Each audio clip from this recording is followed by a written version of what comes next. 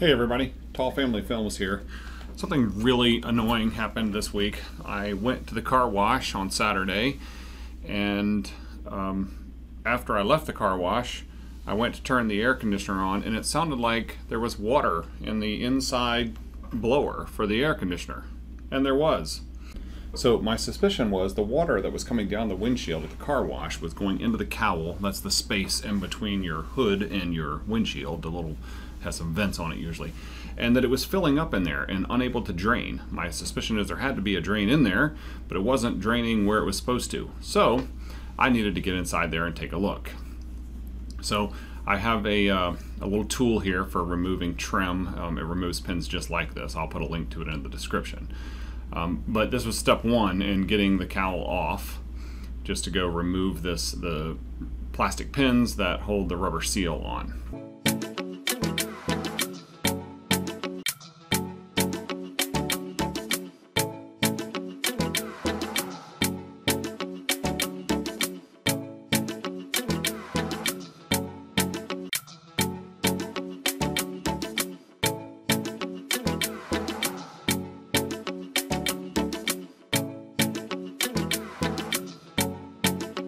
Okay, so now we need to remove the windshield wipers. There's just two nuts, 14 millimeter.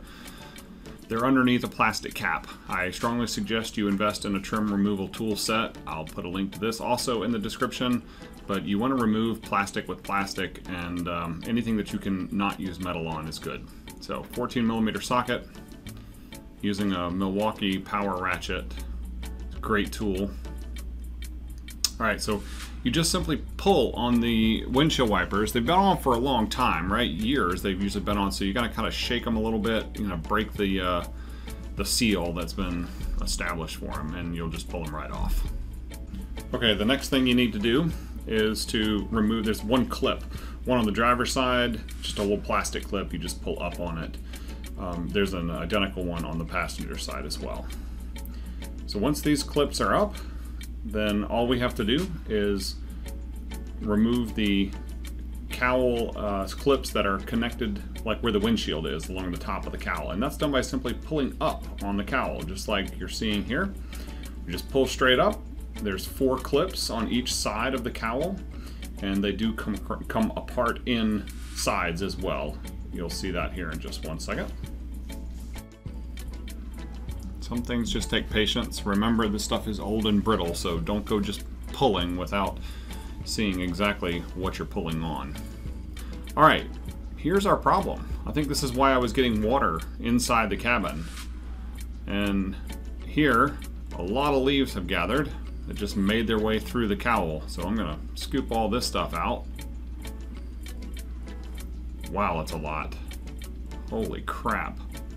Okay, let's take a closer look, um, maybe down at where the drain actually is for the water to come out of this thing. Oh, there's the drain. Well, look at that. I can certainly see why water wasn't getting out very well. So let's pull that crap out of there. That looks a lot better. All right, I think we can get water through there.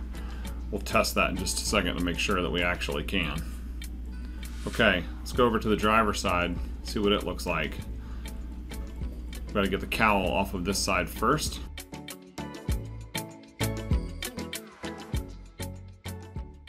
Wow, this is quite a leaf collection we've got going here on both sides of this thing. So uh, looks like the entire bottom of this drain is completely clogged up. So we're gonna get a pick to clean that out.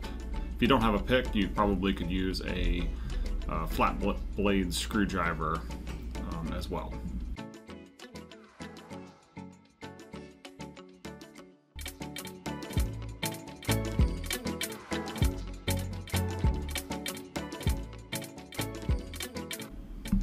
When you're done cleaning that stuff out, um, go ahead and suck it all up with a shop vac. And then, uh, just for fun, I wanted to see where the car drained out. So I guarantee you, yours drains somewhere. So I just set the hose in here, kind of running not full blast, so that just a little bit of water would build up. And then I went down here uh, to see where it was actually leaking out of.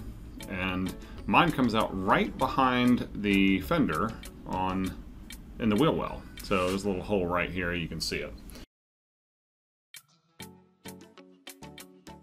Okay, so now we just put everything back together. Pretty, pretty easy job to do. So just snap the cowl back down on both sides. I don't suggest you take off the windshield wiper hose. Um, it doesn't need to come off. You have plenty of slack in it for doing this entire job. So push the pins, this is just doing everything in reverse, push the pins back down in the back and then we put the rubber seal on. Notice this little lip on the seal right here. So that seal needs to be pointing towards the windshield. The strip won't go on backwards. You'll know if you didn't get that right. So take a good look at it, make sure you got the lip facing the windshield, and then you just start snapping it back in.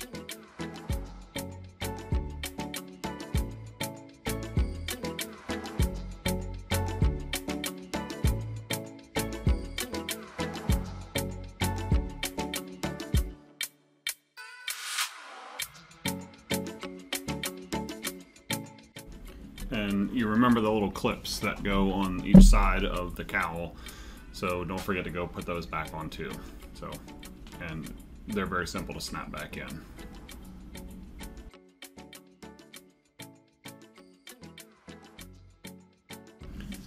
Okay so windshield wipers.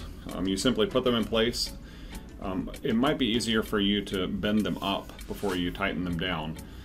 One thing that you're going to see me do on the passenger side, which uh, you should do on both sides, it's just not on camera here, is when you're putting the windshield wipers back on, lay them flat first so that you can see where they are on the windshield.